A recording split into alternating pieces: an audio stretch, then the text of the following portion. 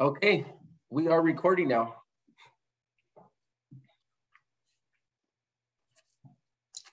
Okay, sir, uh, thank you. Um, this is, uh, Commissioner uh, Hood, uh, Chair. I want to welcome, uh, all the uh, commissioners and guests to the, San Diego Gang, Commission. Um, I want to thank, some of my, commissioners, especially, Commissioner Brown. When I wasn't able to make it, you, uh, Chair, thank you, and, uh, Pastor Sandoval for all your hard work that's been taking place over the past, uh, several months. So um, um, I want to uh, uh, officially uh, give a shout out and welcome and happy new year to all the commissioners and guests that are on here. Um, I, there's been a lot happen in the past year, and I, for one, am happy we're in a new year because I'm very hopeful that it's going to be a better year. So, uh, welcome. Um, what I'd like to do is uh, do a roll call.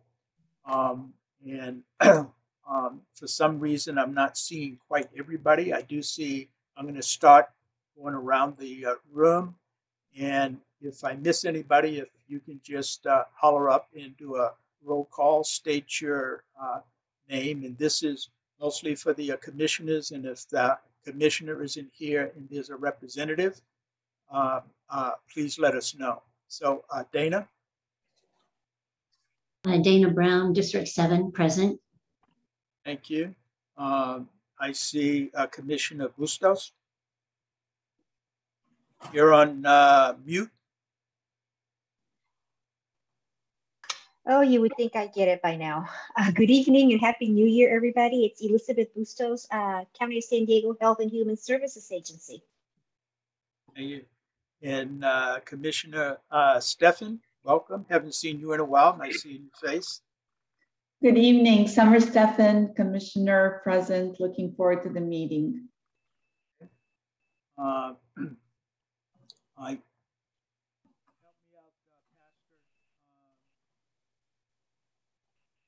Commissioner Morial, Good evening, everyone. Mike Morrell here, District Two. Happy New Year. New Year. Uh, We have Beto, Hi, good evening, everyone. Commissioner Vasquez, District Eight. okay? Uh,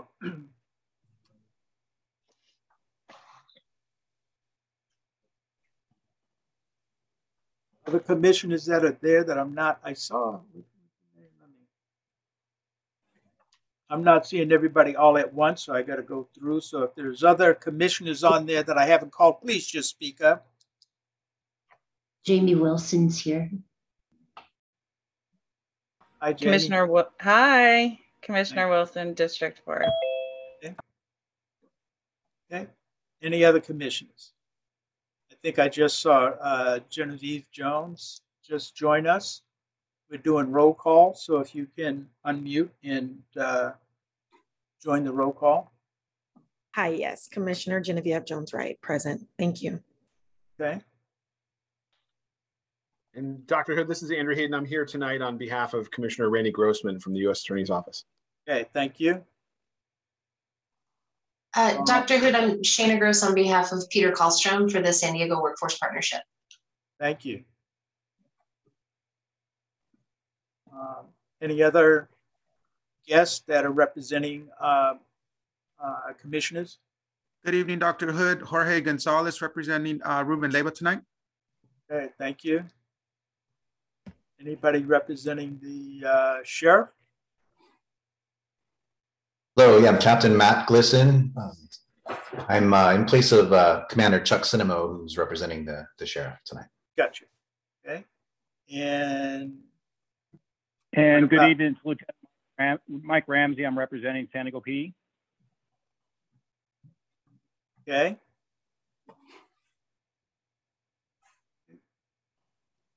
Is there anybody else, uh, Pastor uh, Sandoval, that we're missing? Anybody representing the school, Unified School District? Okay. Um, community-based organization?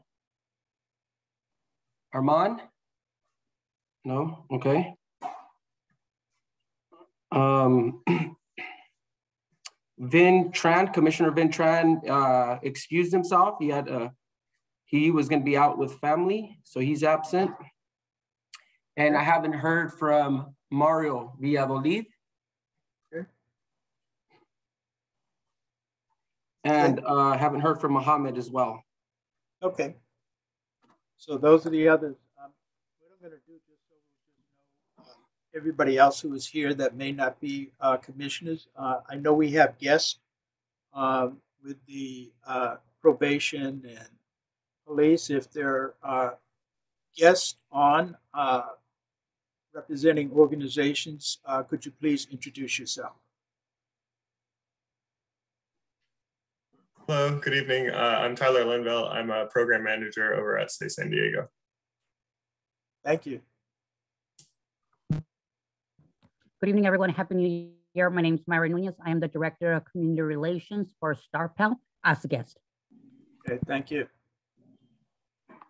Hi, good evening. I'm Rich Friedman, uh, Captain with San Diego PD. Thank you. Good evening. Happy New Year. Robert Ontiveros, uh, mentor for community wraparound, a small business owner.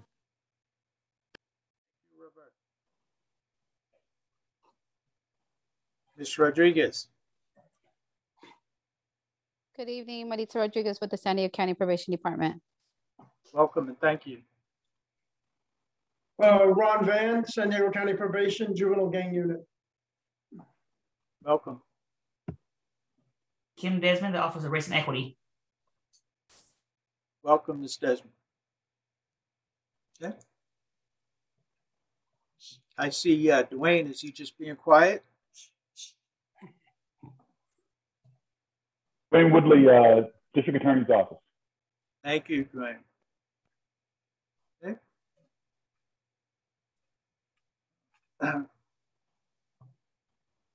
Okay. So uh, thank you for that. Um, I'm going to go ahead, uh, Pastor, and ask uh, the uh, commissioners, and I'm not sure if we actually have a quorum.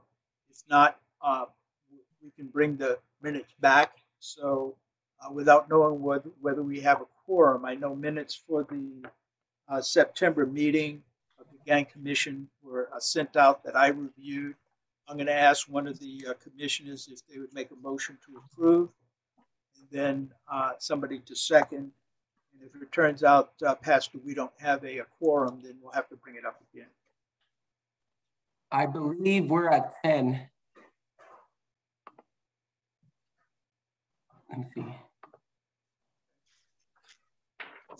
So is there a, a commissioner that wants to uh, make a motion to approve the minutes?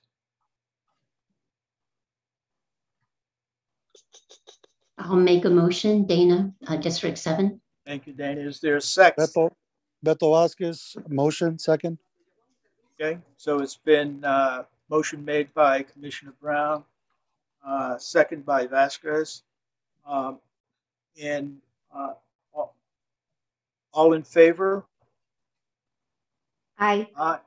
Aye. Okay. Aye. Let me, let me just ask, are there any, uh, anybody opposed? No, any abstentions? Yes, yes, I will be abstaining. Genevieve Jones, Wright? Yeah, Genevieve Jones, Wright. So for some of the new commissioners, if you weren't there, sometimes it may be appropriate to abstain. Also, uh, Commissioner DeAndre Brooks just joined us as well. Just Okay. drive careful, brother. Okay, This is Commissioner Wilson. I wasn't present at the last meeting. I'll be abstaining as well. Okay.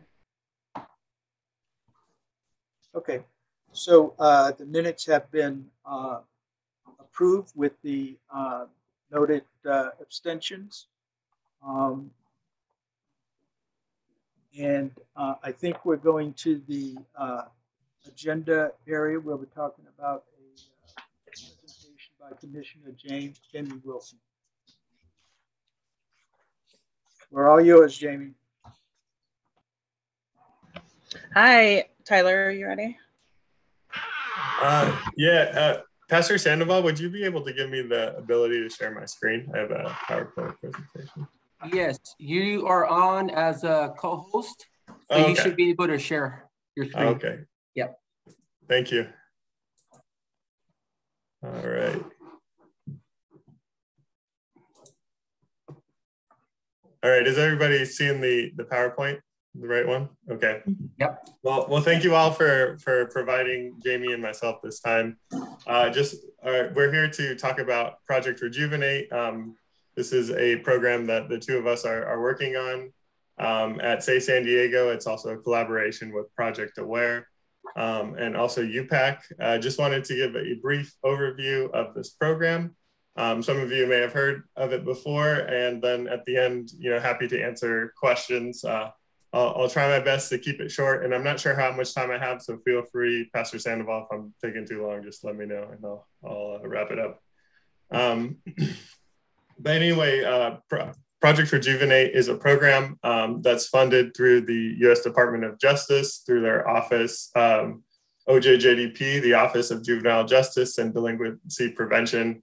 Um, it's a three-year grant that will be running through September of 2023 um, with the goals of uh, reducing youth involvement in gangs, also reducing uh, youth gun offenses uh, related to weapons, drugs, and alcohol, and then also increasing um, social, social and emotional well-being uh, among participants.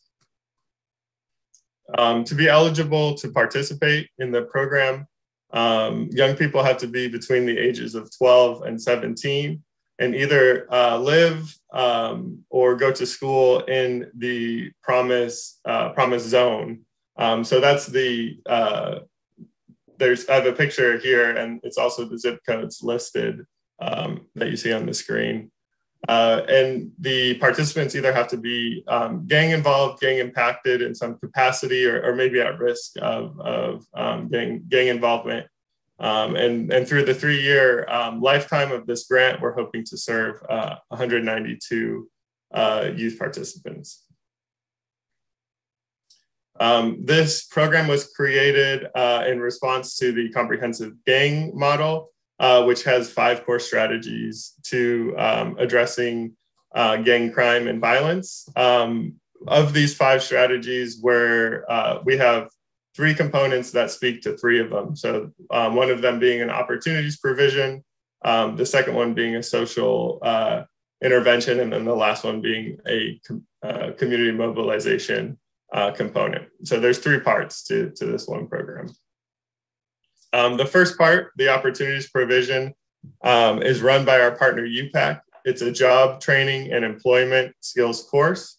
It's an eight week course um, where participants get to practice, uh, get hands on job skills in culinary arts. Um, they get to work in the kitchen in the back at the Enterprise Center, uh, work in their print shop, learn how to um, create designs. And then also they talk about entrepreneurship, where they um, talk about what it takes to put together your own business and, and stuff like that.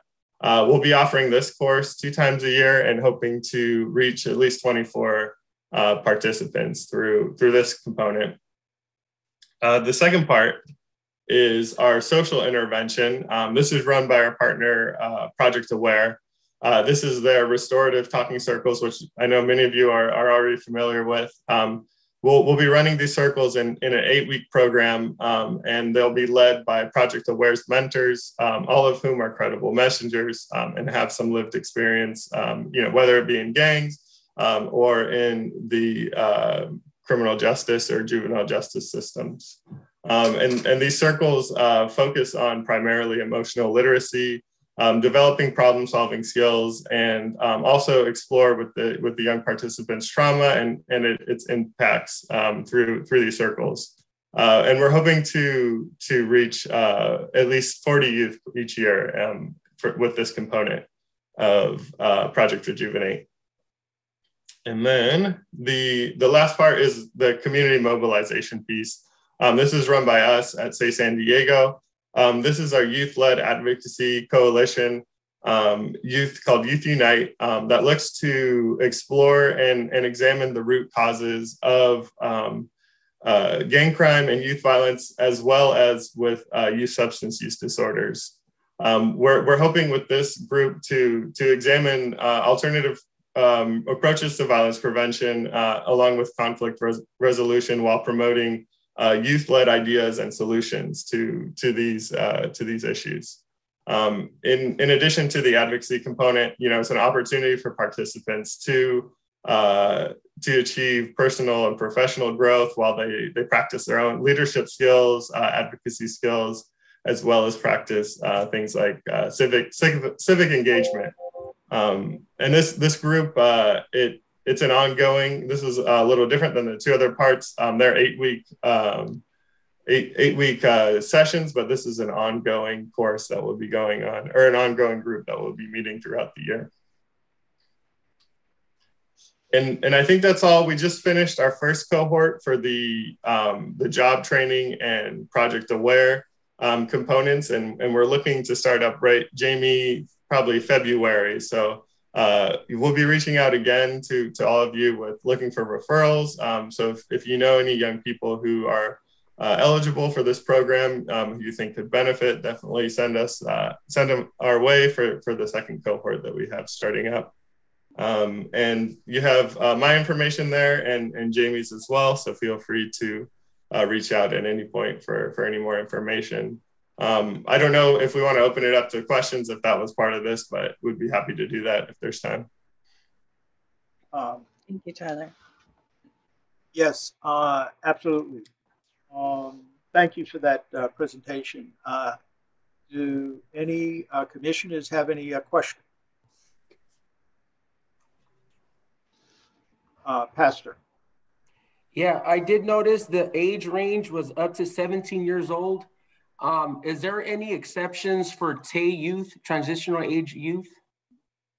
Yeah, for the um, for the first two components, we uh, just just because of the grant, it's it's we're stuck with that age range. Um, but but we do have some other programs through Elevate Youth, which is another program, um, and and with the Advocacy Coalition, we could we could make some some exceptions there. So um, if you if you have we have other with for those other programs as well, you know, feel free to to reach out and we can see if we we can connect them to something else. Okay. And then a second part, um, on the restorative circles with uh, Project Aware, are those virtual or in person? And are they also available for schools if we have youth that may need some of the support support services in the schools? Yeah, so we, they started virtual for the first cohort, and we were able to end with them in person. Um, we'll kind of have to see how things play out right now, um, but we have the ability to, to either do them in person or virtually, depending on on the situation. And then for the schools, uh, I I know Project Aware does uh, circles in schools, and and we are working with them with some of the other programs as well. So we could help connect them with schools um, to do to to see if we could bring in um, Project Aware circles there. The hope is always in person. It's always a lot more impactful in person um, when we went from Zoom to in person, but we have to be mindful that we have youth on the bus, on the trolley coming home from school.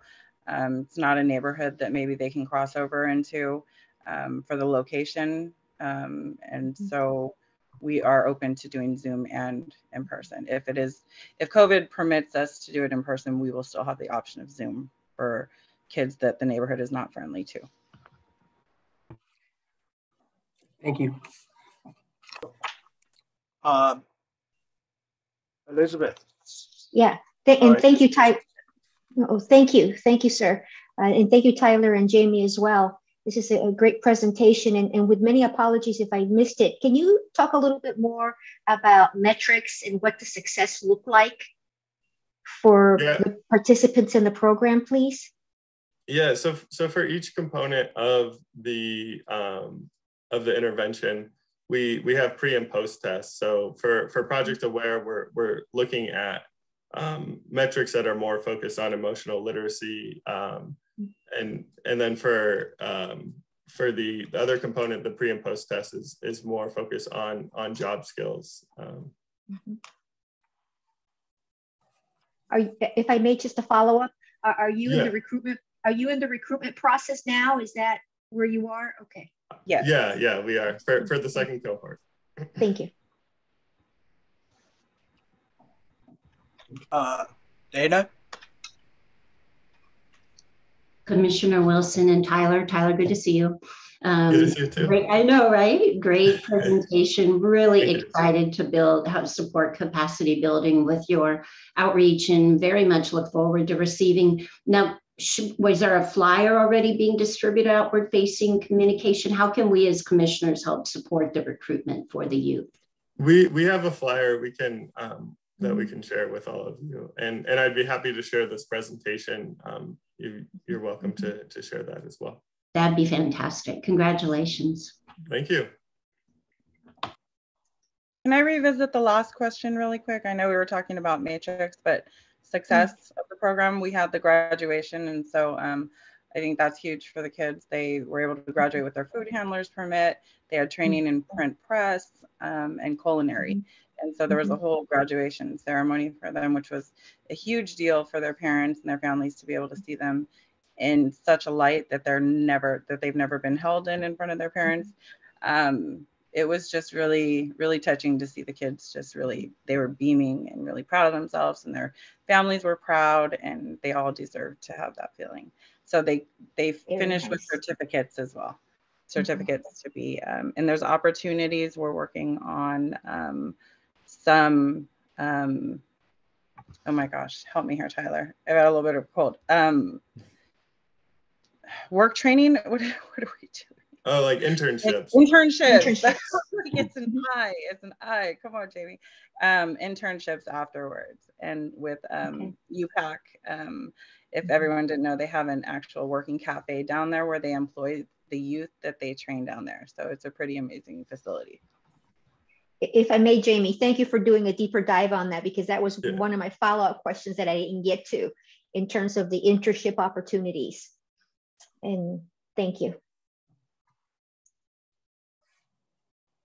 Any other questions? So uh, Tyler, uh, thank you for the presentation. Commissioner uh, Wilson, uh, thank you and congratulations. Uh, It's a great honor to uh, receive the grant, and especially for the targeted area. Um, Thank you. I, I, I would be, uh, if, uh, sometimes as a um, physician, um, and my practice is right in the 92114 area that it includes, um, I get information about some of my patients, uh, children, and things like that that may be appropriate for it. Uh, is it, it can I refer patients uh, or not patients, but uh, potential candidates to you, or is that how it works?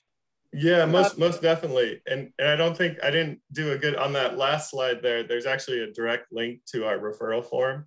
Um, and, and anybody can refer um, Okay. participants through that through that direct link. Um, yeah, whether it be you, Dr. Hood, or, or anybody else. Um, Okay. So, so yeah, we'll be sure to share that out as well. Okay, And if thank the you. link isn't isn't the easiest thing to do, you can give them my cell number, my email. Any referral is welcome. I'm, I want to help all of these kids. Appreciate it.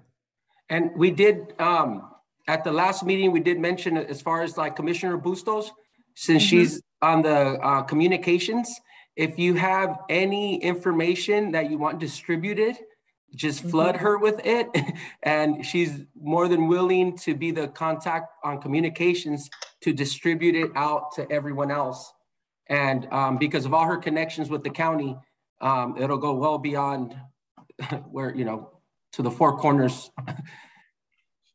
Happy, happy to do the network. Absolutely. Absolutely. Um, and that flyer is going to be essential so we can attach it as well.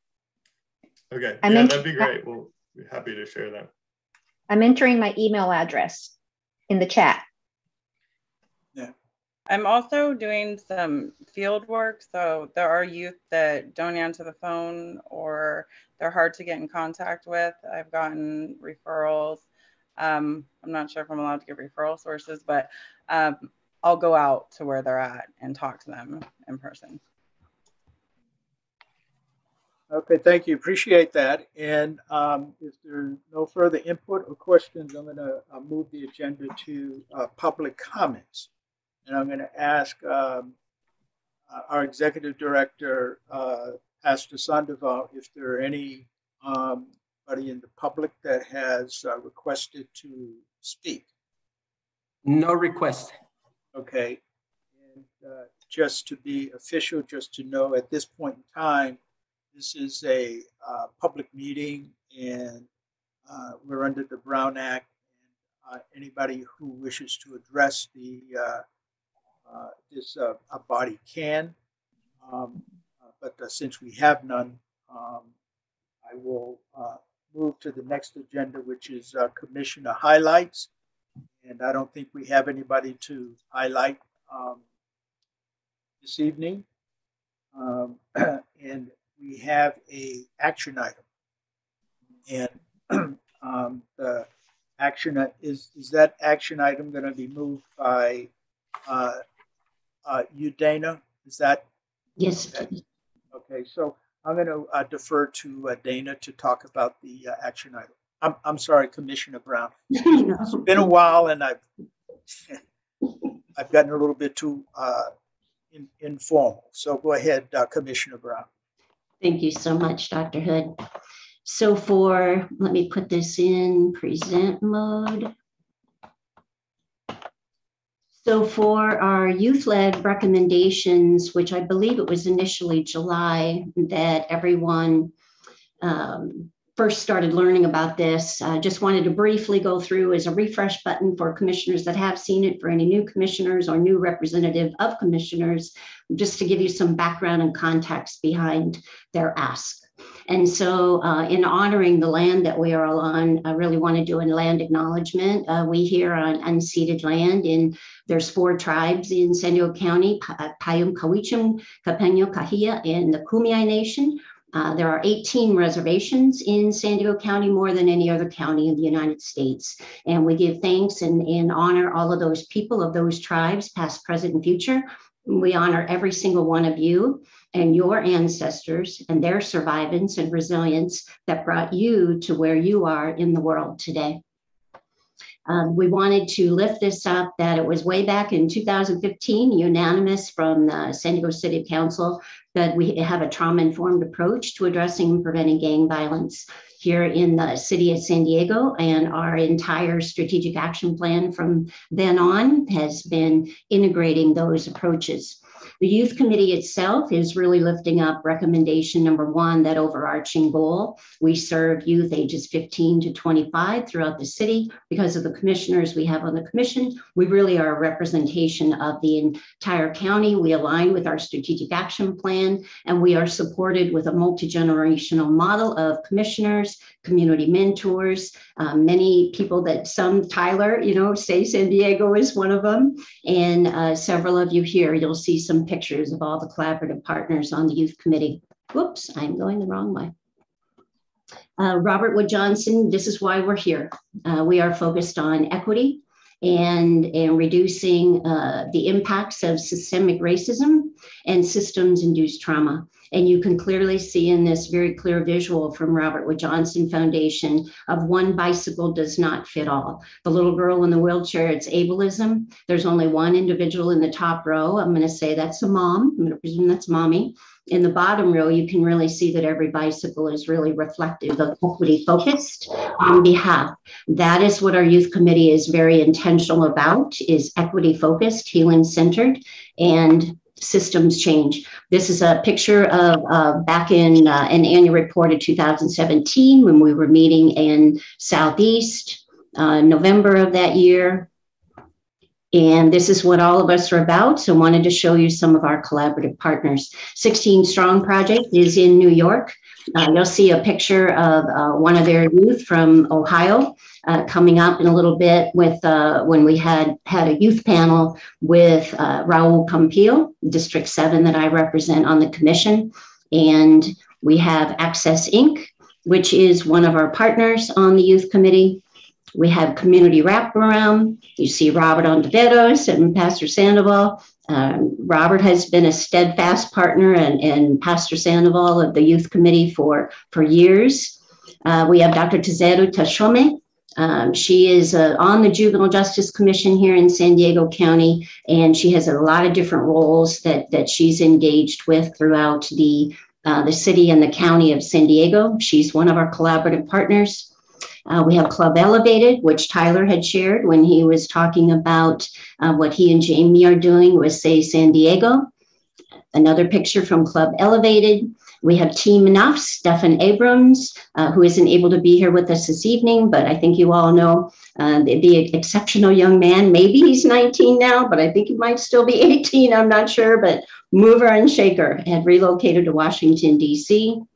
Um, some of you are very aware of um, Youth Voice, which I had the honor and blessing of founding inside the Mid City Police Division back in 2008 and trained all the youth leaders ages 11 to 24 um, on ACEs Science, which is the epidemiology, neurobiology, biology, epigenetics, and resilience building, and then helping them understand that holistically, helping them understand systems induced trauma, helping them understand systemic racism, helping them understand white privilege, helping them understand the power of their voice and that empowerment model that they can be the ones they they literally you'll see just a couple of brief pictures she was then uh, jessica here was 17 years old they presented on individuals in, over throughout the entire world. We had a fabulous pre-COVID um, relationship with San Diego Diplomacy Council, and our youth voice leaders presented umpteen times. I think I have over 120 business cards around the world of different high-level leaders. Uh, this was a youth committee meeting that we started to hold virtually uh, because of the pandemic. One in in February of uh, 21 this was a meeting that we had. Uh, Raul Campillo, the gentleman right here, District 7 council member, uh, youngest council member on the city of San Diego, joined us that day immediately following when, uh, when city council adjourned and joined us to learn about what we're doing on the youth committee of our, our, our commission on gang prevention and intervention. And we had an ask of him that day if we could meet with him, and you'll see that that uh, forthcoming.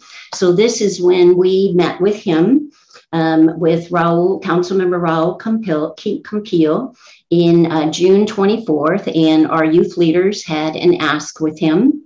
And that equity focused youth panel that we held with him was this picture.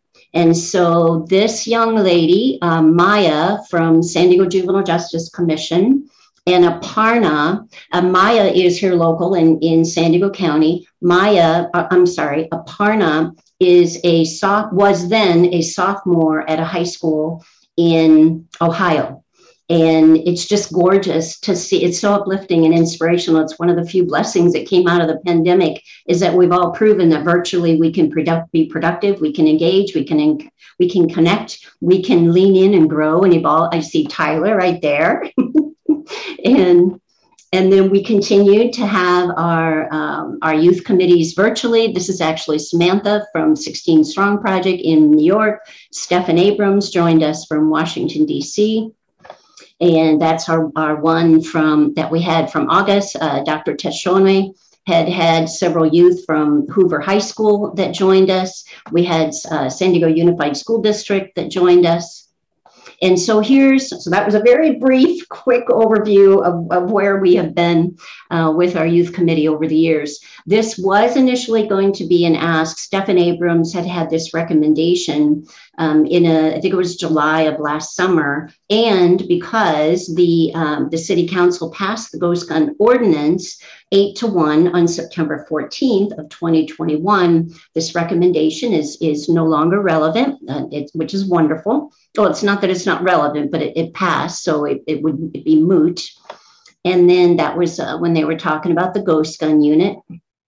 And then Jessica Rivera was on at the commission meeting, and her suggestion was that the youth led trauma informed care code of conduct uh, be recommended. We know we are a, a uh, commission that makes recommendations. Uh, we're not a commission that that that people can adopt, uh, but rather make a recommendation. And so that was Jessica Rivera. She's a powerful um, leader from Youth Voice. And just a little bit of a backstory for anyone here that may not be familiar with the history. San Diego Foundation funded the Clinton Foundation to come to San Diego. Why did they come? They focused on a two year initiative, focused on reducing disparities in juvenile justice and child welfare systems, specific with African American, um, Native American, in San Diego County. And so uh, when I heard that, anytime I hear advocacy, systems change, resident engagement, youth voice, like how can we all collaborate together? So this is one of the pictures of that six month process with San Diego Foundation and Clinton Foundation. And it was youth, inner city youth from City Heights and Southeast. And they decided, they developed these youth led code of trauma informed care code of conduct. This is how the youth leaders throughout that six months said that they would like to be treated.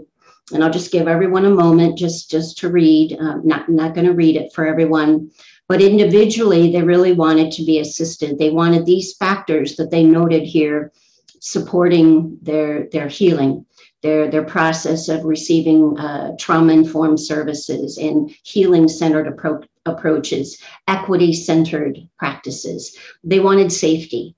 They wanted a safe and open minded place where they felt welcome, where they felt nurtured, where they felt respected.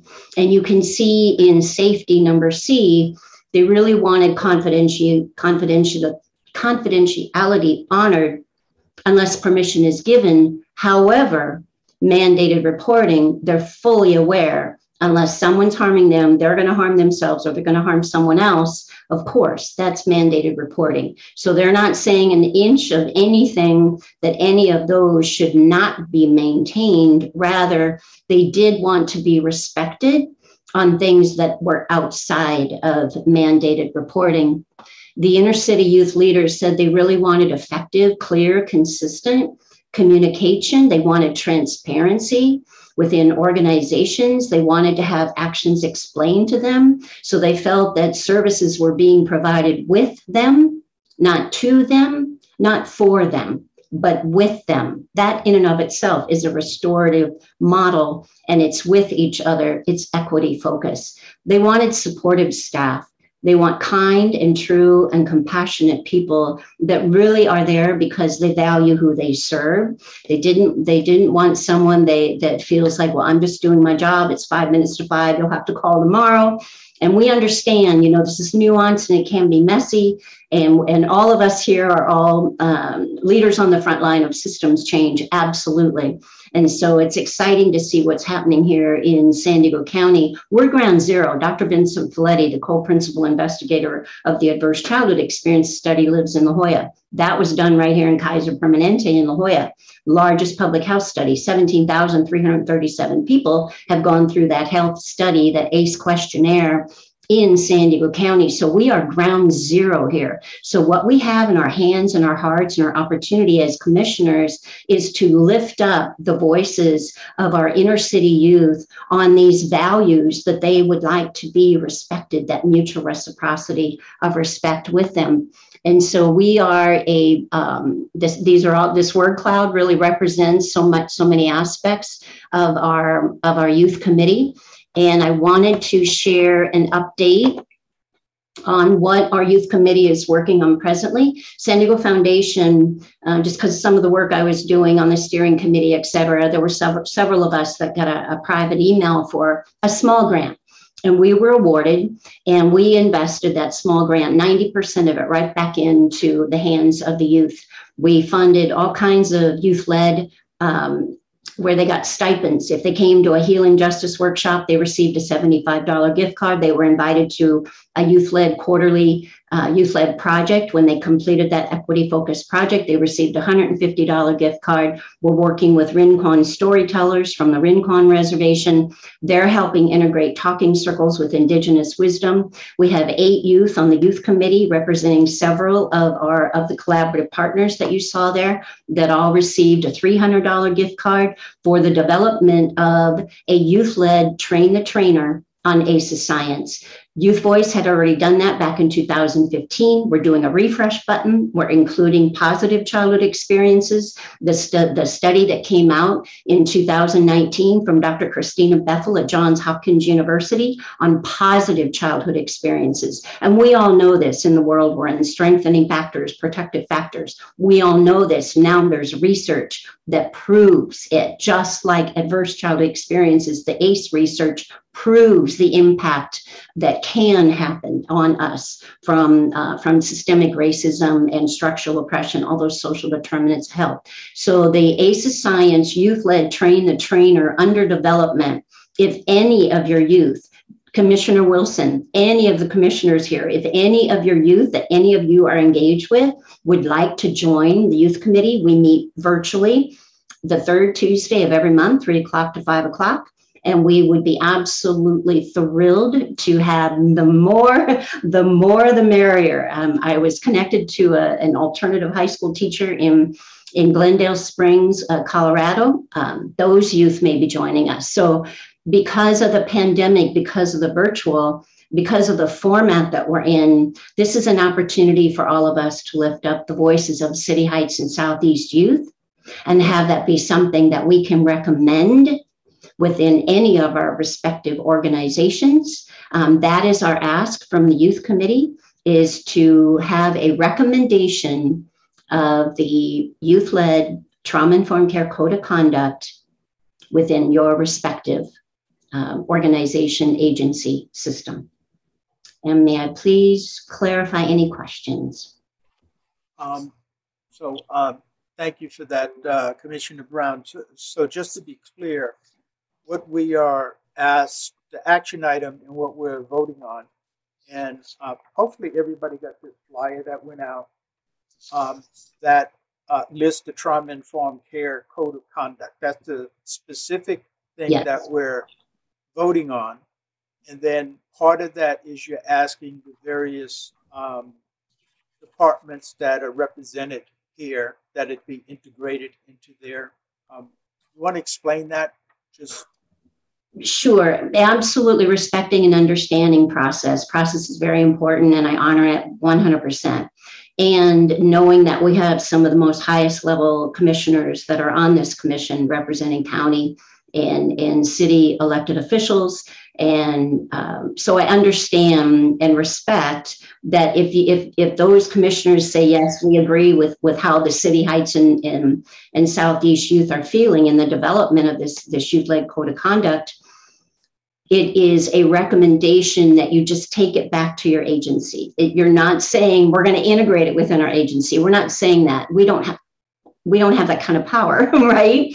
We're a recommendation commission. And so uh, my hope is that that once this vote, however this vote plays out this evening, my hope is that any of the commissioners here representing any of the nine district council will schedule a meeting. Our youth leaders would love to join you virtually in, in any of those meetings. I'd be thrilled to join you virtually if I could be in support in any way we're taking it to your we want to permeate out we want the ripple effect out throughout the county of san diego um, grassroots to grass tops and that's cross sector in a social ecological model these are inner city youth sharing how they want to be valued and respected so it's it's a it's a document from their voices that we want to lift up and that in and of itself is the recommendation okay um, any uh, questions from the uh, commissioner?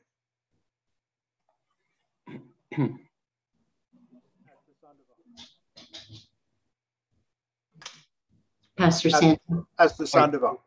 Okay. Yeah, I also I know the the wording um, where it says trauma informed care code of conduct. Uh, we do want to just let everyone know that different departments um, have their own code of conduct already for their staff and their departments. And so this by no means is to replace that or to even amend this, this um, document into that. This is more on the practice side of, for example, if trainings are being done for like frontline staff, one of the ways that it could be implemented is that a, a, a simple slide of this, this simple slide is basically you know, being implemented to the staff on, on how, how would it look for them to implement trauma-informed care within their practice? How would that look like? And so I know there was a, a little bit of uh, concerns that were going because of the actual language that said uh, code of conduct. And so we, we didn't want that to intimidate any systems, any departments to say, no, we already have one.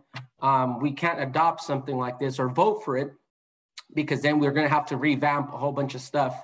Um, this is just as a commission. As a commission, we're backing it up, and then and then hopefully um, just disseminating it to wherever we can, so that at their discretion they can help implement this. Because this is what our youth are saying that that they want. So I just wanted to add that to what Dana was saying. But Pastor, if I wanted, uh, if I could clarify too, because language is super important. This is not adopting. This is recommending. Yes. Because I think they're very different processes Mhm. depending on the system, the agency, the organization. So this is a recommendation. Yes. So, so just another point of clarification, and this is for really a process, and I guess, uh, I don't know if we have anybody on from the uh, mayor's office, but our uh, charter really is to make recommendations back to the mayor and to the uh, city council. Um, and then um, they, they, they then uh, follow through. So um, we are recommending that this first go back to the uh, mayor's uh, office and to the city council, and then for them to respond to it. So I think uh, how it uh, is adopted through the various uh, departments or, or used within the various departments will kind of fall in that bailiwick. Is that correct? Yes. Okay. Uh, Commissioner Bustos. And thank you, and, and thank you, Commissioner Brown, um, a- a- and, and, and, and Pastor Sandoval as well. It's wonderful to see this being revisited. Um, I recall like maybe two, three years ago, when I first joined the County of San Diego, um, that uh, my, my then colleague, uh, Dale Fleming, who's now retired and doing wonderful work in the community as well, was actually, uh, I recall she was at this table and championing this on behalf of the county. So, um, and forgive me, there, there, has been obviously transitions and, and gaps. I would love to be able to revisit this, uh, an opportunity to revisit uh, where, you know, where the county is with this process. I recall it being discussed. Um, but but at the very least, and again, process really matters. And thank you for all the clarifications. I'm not sure I fully understand and follow the, you know, the all the connect the connecting dot points. But you know, at, at you know, assuming that we can move forward with sharing these recommendations, you know, two bodies come to mind. The first one is the um, the County of San Diego's um, Leon L. Williams Human Relations Commission who has a uh, who has in the last year formed a, a youth subcommittee um, that is, is just now planting some very very uh, exciting seeds um, in, in youth engagement. I think that would be an opportunity there. Um, also, um, Live Well San Diego um, in in you know good news bad news with with the covid experience launched a, a youth sector. Uh, and it, it, started out you know in the engagement of youth through the covid lens. Now it's b- broader. The conversations are broader and i'm just wondering again that would be an opportunity there to introduce this. But um, I, I just i need to fully understand and forgive me if i'm the only one that that misses um, you know the the dot points here um, take it to the to the mayor's office first dr So, hood Mhm. Yeah, so, so let me explain. I'm, I'm, I'm, and, and that's the point I was trying to make. The, uh, we, we don't, uh, recommend directly to the various, uh, departments or, um, um, um, they, they can do with this, with what they want, but what we're doing is making a recommendation to the mayor's office and to the city council. I believe, what's the, uh, committee on the city council that oversees us, the, uh, public policy? Public safety, livable Yeah, neighborhoods. nev- Yeah. So, so basically, um, let me be clear. What we're doing is the gang commission is going to take a vote to recommend to the mayor's office and the city council two things that uh, they adopt these uh, principles, number one, and then request that the various appropriate departments consider using these principles within their department in a way that makes sense. I, I'm, I'm being vague because I think that's the purpose, to give leadway to the departments how they um, use this. Okay? I- And- that- Does that make sense? That's what we're voting on. Okay. And thank you. And Dr. Hood, just a follow up to that, when you say departments, can you, who, who do you mean? Can you be more specific? Is Well, it us, the entities? Okay, Yeah, so the uh, various entities represented on the uh, gang commission. got it. Thank you. Um, and uh, there may be other entities that are not represented on the gang commission that can also um, uh, have access to this. Got it. Thank you. That's very helpful. So uh, is there any unreadiness or any other questions of the uh, commissioners? Then um, I'm going to ask a um, commissioner to motion to approve what we just discussed. Is there a motion to approve and accept this recommendation? It's Elizabeth, Commissioner Bustos. I move to approve this recommendation as Thank stated.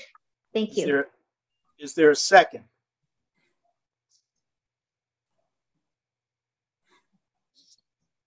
I just need a commissioner uh, to uh, second. I'll second uh, Dr. Hood. Thank you, Commissioner Stefan. So it's been moved in uh, second. Thank you. Um, All those in favor, raise your hand or say aye. Aye. Aye. Aye. Aye. Okay?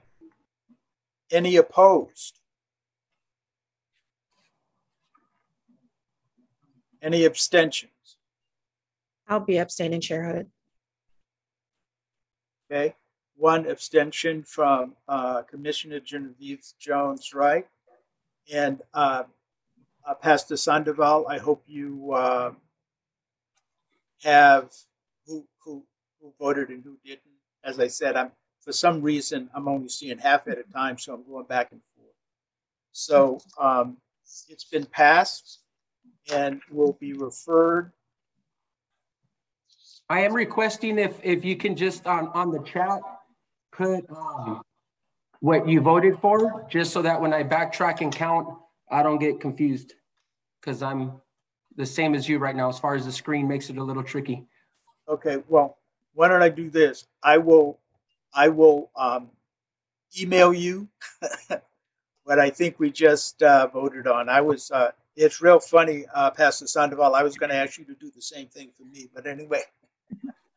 But I, I, I think basically to make it uh, uh, simple, what we voted on are, are, are the code of conduct, number one, and number two, uh, requesting that these be used by the uh, various organizations within the city uh, to be integrated or used in a way that would implement. So I'll, I'll, I'll put something in writing and email it to you as I have seen it. Or um, uh, let me ask, um, maybe um, Commissioner Brown, maybe I should ask you since this is coming from you. would, would, would it be okay if I did that, or would you want to uh, clarify that? Um, Chair, Chair Dr. Hood, that's fantastic. If you'd like me to help in any way with massaging or wordsmithing, Okay. I'm honored, but I respect you highly and very much appreciate that. Okay. All righty. All righty. Well, uh, thank you for that. Uh, Okay, We- Matt, uh, Commissioner Forgive me. Bustos. c- commit me, uh, forgive me, Chair Hood, it's just a follow-up. And you let me know if this is appropriate, you know, uh, uh, assuming positive outcome. Um, is it possible, I think, at least it would be very helpful for me, um, for this to be packaged with some kind of a cover letter? Some kind of an, ex- you know, a- a- an, an explanation, a recommendation, like what this really is, as a guidance document to be able to, you know, to assist in moving it forward? Um, then, that- um, I, yeah, I, I I think go that's, May I go ahead and do that? Well, May- that's exactly what I was going to ask. I appreciate that. Okay. So uh, thank you, uh, Commissioner Bustos. I think that's a great idea. Uh, Commissioner Brown has agreed to uh, do that. So all I'm simply going to do is kind of clarify the motion that I think we added it to. And then uh, our Executive Director, Pastor Sandoval, and Commissioner Brown will develop the um, executive summary or explanation to go along with it. I do want to, um, I'm trying to do this as fast as I can, but did, um, Michael Morrill, were you able to vote? I did. I voted yay. Okay, okay. I just wanted to make sure. And, um, Commissioner DeAndre?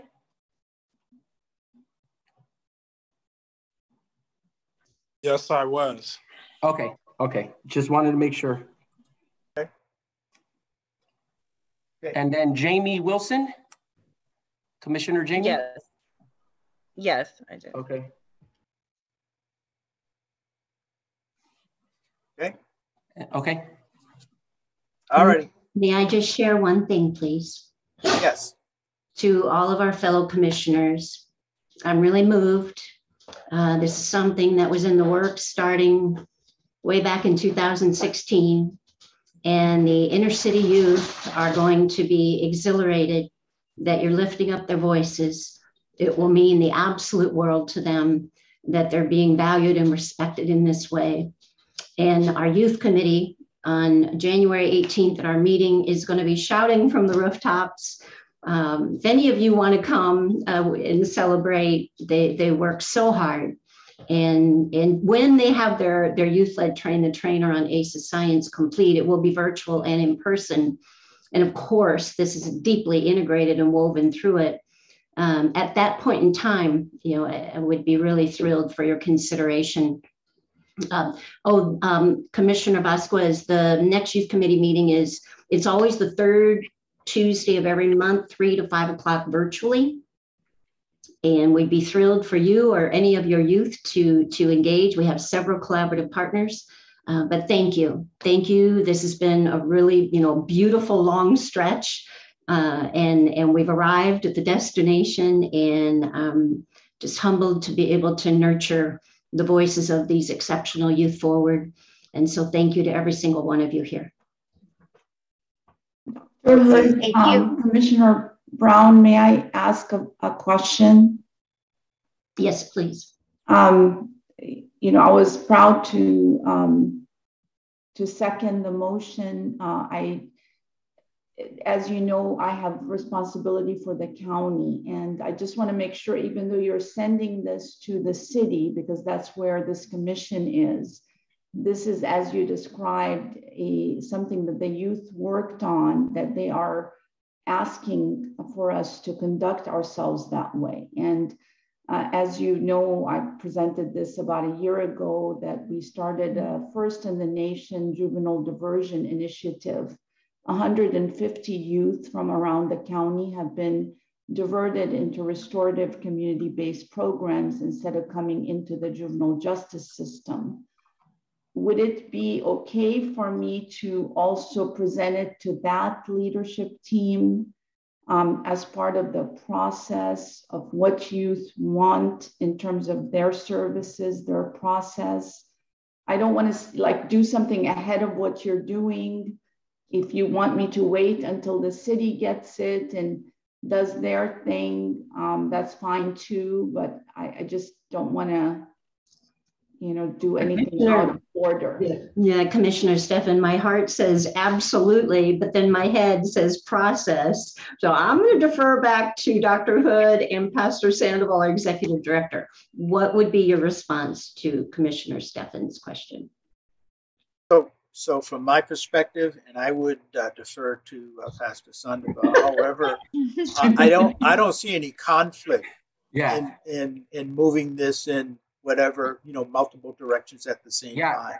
Yeah, I, don't think, yeah, in spite of us recommending it and submitting it up the chain of command, if if the county wants to run with it, you you have every every right to do that. And so that's that's even a good thing because sometimes the city wants to see what the county's doing. And if the county says, oh, they're doing it, okay, let's, we're gonna do it too. And then the, they can merge on later on, Yep. you know, just being on the same page. So I don't see anything wrong with it. Um, I appreciate that. Thank you.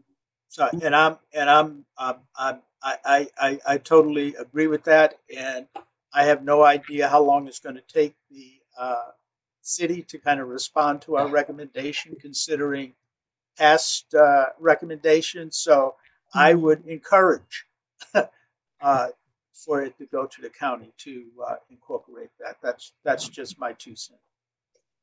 Thank you, Dr. Hood. Thank you, some- Commissioner Steffens, and thank you, Pastor Sandoval. Okay. All right. Thank you for all you do. So um, we're now at the uh, information scan agenda, and um, uh, whoever is representing the uh, San Diego Police Department for the uh, scan, I'd appreciate uh, your presence. Yes, good evening, everyone. It's Lieutenant Mike Ramsey, San Diego PD Gang Unit. I'm going to give you the uh, information gang uh, statistics uh, through the month of uh, November, which will also include the October statistics. And then I have a pretty accurate update also on the total number of guns recovered and the increases on those compared to to last year. But uh, first, with uh, the gang investigation cases. Um, for homicides between October and November, we just had one, um, but but total at that point was 17. That's um, that's an increase of eight compared to nine in 2020. And then uh, attempt homicides, we had one, uh, which is a total so far is seven, uh, which is an increase of four compared to last year this time. Um, assault with a deadly weapon cases, uh, 17 for these two months, um, which is a total of 108 um, compared to 98 last year this time. Uh, shooting at uh, houses or vehicles, we had one for October and November combined, with total 18 year to date, and uh, that's uh, one increase compared to 2020 last year at this time. Uh, robberies, we had nine for the two months, 35 total for uh, this year, and then um, a decrease on those cases between um, this time last year, which we had 48, so 13 uh, less this year. Auto thefts, we had um, 14 total, um, 61 combined year to date through November, and that's an increase of 16 compared to last year. And then all other gang related crimes, which would include vandalisms, um, assaults, um, fights, things of that nature. We had 60 between October and November, a total of 289 um, through the month of um, November. And last year at this time we had 295, so that's down just just a tad. And then um, on the guns uh, recovery, including ghost guns, um, with for the gang unit alone through through November, and we're we're finalizing the numbers for the year to date um, at the end of the year, and we'll have those for next meeting. But um, for through November, we had um, this is just for the gang unit, uh, 188 guns recovered compared to just 81 last year at this time, and 60 of those 188 were ghost guns, which that's up from just 16 a year to date at this time. And then um, department-wide number for guns, and like I said, we'll finalize this, but this is pretty accurate through December. We're looking at um, 2,220 guns recovered um, through 2021. Um, that does not include the, the gun buybacks, um, which were close to 500 guns just on gun buybacks this year. Um, so 220, two, 2,220 guns recovered this year. Um, and, and then for ghost guns, it's 546 roughly. And that's an increase of a little over 22% for 2021 compared to 2020 last year for guns recovered. I don't have the percentage of ghost guns last year. I, um, I know that that increase will be much larger when I get those numbers, but um, just when you compare the ghost gun recoveries on the gang uh, side of that, I mean, it's well over 75%. So department wide, I'm sure that figure will be around the, the same. And that's I, that's the information I have for the statistic updates for the gang unit. Okay, thank you. Any questions? Um, I see uh, uh, Commissioner Wilson. Hi, how many of these cases have been adjudicated or have none of them? I, I don't have the um, the numbers on prosecution or what's been adjudicated. I could I can I can try to look into that. Um, so, I mean, some of them have been adjudicated, um, and then they've been you know processed. Um, these are just gun recoveries. They're not always arrests related to that. Depends on the the incident. Um, a lot of times it's uh, we're waiting for lab process for uh, cases to be submitted. Okay, I meant um, all of the statistics for October and November. I'm just curious how many gang enhancements or gang allegations stuck at conviction? So they would become an actual gang related statistic or have none of them? I, I don't have uh, those numbers. I'll have to get back to you on okay. exact gang convictions. Thank you. Uh-huh. Thank you. Any other questions? Yes, I have one. Okay, uh, Commissioner Brooks. Is there a way that we can start getting those statistics as well brought to us? Because I think this is a question that, is, that has come up maybe on a couple occasions over the years, and we never get like a real answer when it comes to how many cases have actually been adjudicated. So this is like the second or third time we've had this conversation, and I just want to know if there is a way that we can start getting those numbers added to this uh, this data that's being presented to us? Or who can we yeah, go well, through in order to make that happen? I can talk with the district attorneys. I, I don't I don't I've never seen any statistic come back where it says this person was charged with this gang enhancement and this is this uh, was the outcome of the case. Um, I can talk to to the district attorney's office specifically about those statistics but I, I have not seen those. Okay, cool. That'll that'll definitely be great because uh, we're getting these numbers, and when you hear numbers like this, you know they kind of move people in different directions, and they they make you think a certain type of way. And we just want to make sure that we're 100% accurate if we're going to be putting out things like that, and people are going to be taking it in. Thanks. Any other questions? Okay. Uh, uh, thank you for that uh, report, and I'm going to go to the uh, probation department update. Thank you, Dr. Brooks. Uh, so we have representatives from uh, the adult and juvenile services that will be providing some brief updates. And we'll start with Supervisor Van. good morning, sorry, good evening, everybody. Um, so speaking on the community side, we currently have 12 probation youth in the Achievement Center. We have seven non-probation youth attending. We have 14 youth attending the South Bay Choice Program and 11 youth attending the Central Choice Program and nine in the Resilience Program. Uh, probation violations and new arrests for youth were down in the last month or so, but uh, the arrests that we're seeing is most of the uh, crimes are uh, more serious than they were before. The number of youth in custody is decreasing, and the Youth Transition Center or campus is still set to open in approximately about three months, I believe, two to three months, that should open up. Uh, youth also participated in the uh, officers with the shop with the cop program in December. That was a very uh, successful event. And uh, I'm gonna go ahead and turn it over to my counterpart, uh, Maritza Rodriguez from the adult side. Good evening, everyone. Sorry about that. I had to switch locations. My dog was barking a lot. Um, for on the adult side, just wanted to give you guys all an update regarding what's going on on our end. I just had a huge turnover rate of staff who just recently got promoted um, to other positions. And I will I actually just got two new officers that are assigned within our unit that are currently monitoring the gang caseload right now. Uh, right now, um, a lot of our cases have been terminated per AB 1950 regarding the gang caseload. And so many of these individuals who were previously convicted and of a, of a certain offense, depending on the term, they were converted to two years term. So we had several cases that were terminated.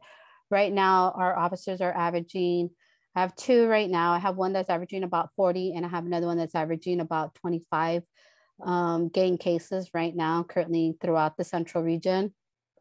Um, and then I also have the transitional age youth caseload as well. And I currently have 26 cases on those in that particular case. So right now we are still providing wraparound services where we currently work closely with our ADPS, which is our alcohol drug specialist. And we also work with our clinicians, which are behavioral health team and to ensure that the individuals that we're currently working with are receiving the appropriate services through our assessments that are being conducted on the adult side, and then getting them connected through different community organizations um, to provide their particular needs depending on what they're also recommending to us regarding their case plan. So there's a case plan that's developed with the particular probationer. Then we um, create their goals and then they also create their goals and ensure that we meet their needs. And that's where we're currently at right now for the adult, on the adult side.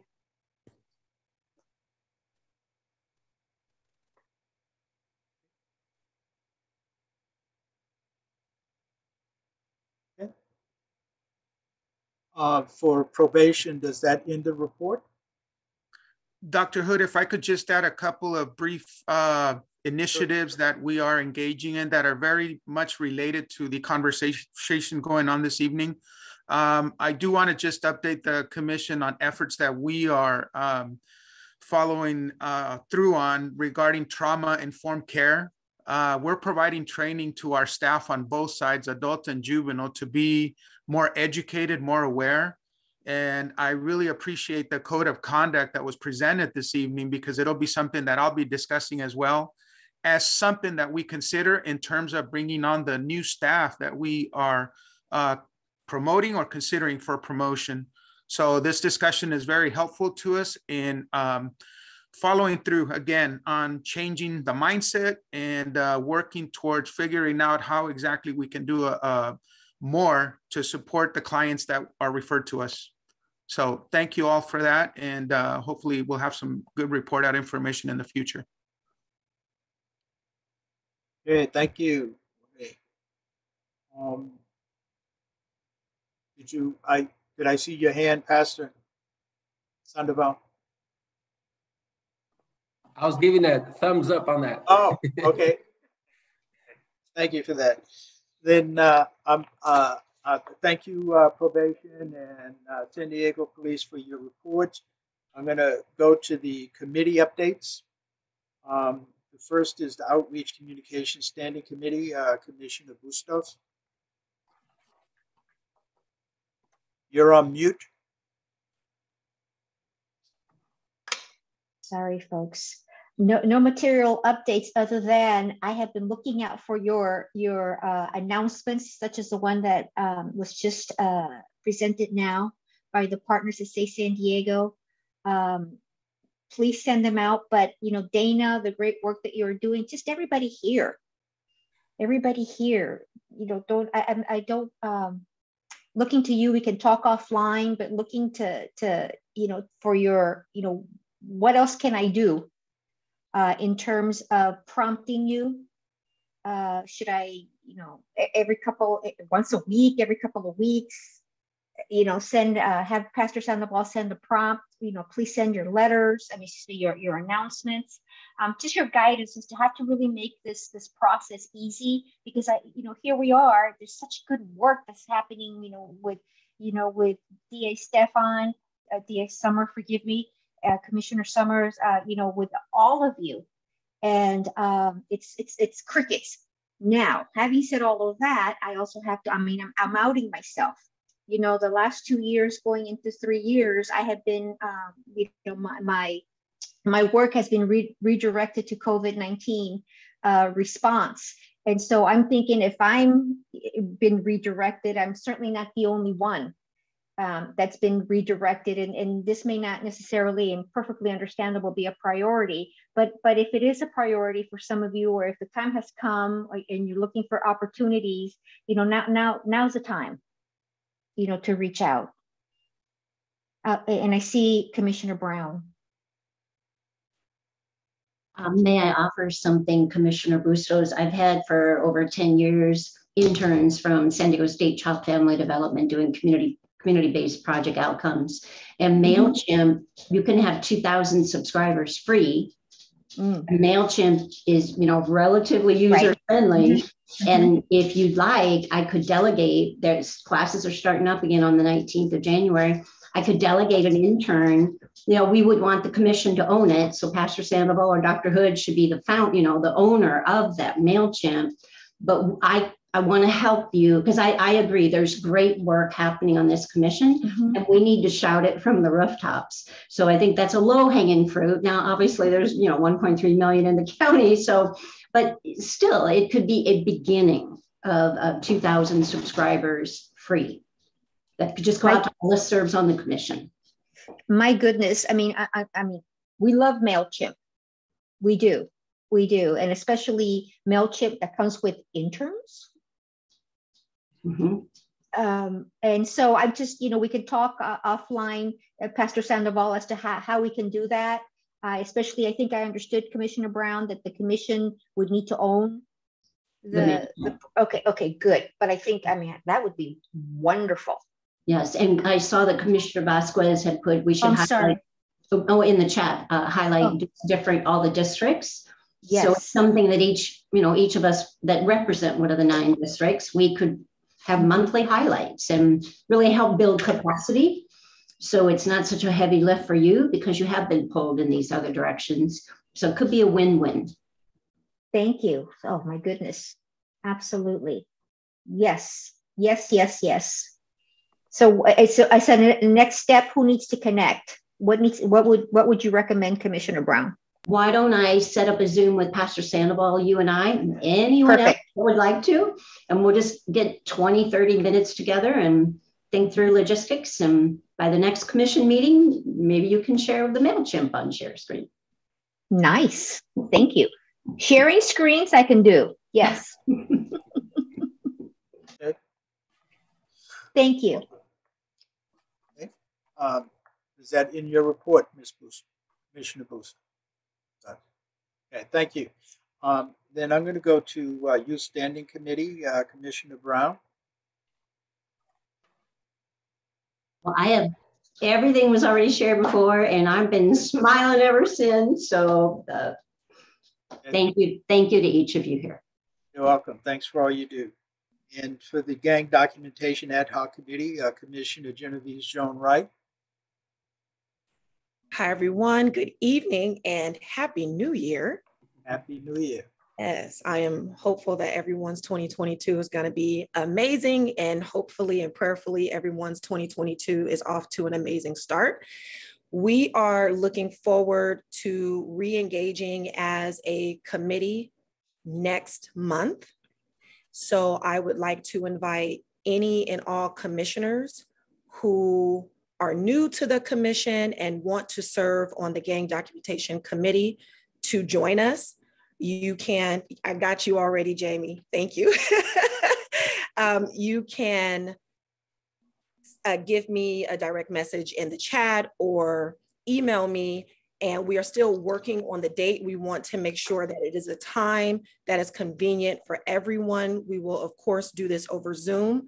There's great flexibility in how and when we will meet, um, but we have lots of things to discuss. And so, again, if you'd like to join us, we would love to have you. And that's my report for the evening. Okay, uh, thank you very much for that. Um, Welcome back, Genevieve. We missed you. Yeah, Welcome back. welcome back. Yeah. So um, we're at the next agenda item, which is the chair's report, and I've been asked to do a COVID-19 update. Um, over the past two years, I have been uh, deeply involved with the county and state and uh, the uh, COVID. I'm going to be extremely brief. Um, the whole COVID thing, we thought we had our arms wrapped around us, and all of a sudden popped up uh, Omicron. Um, um, so let me start with uh, the uh, good news. First of all, uh, here in uh, San Diego County, uh, the eligible population for vaccinations were about 3.1 million.